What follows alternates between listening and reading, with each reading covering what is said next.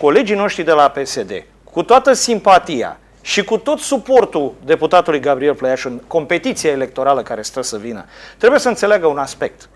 Fără Partidul Național Liberal, atât candidatul Partidului Social Democrat în cursa pentru președinția Consiliului Județean nu are șanse în competiția cu candidatul sigur care va fi de la PDL, domnul Florin Popescu.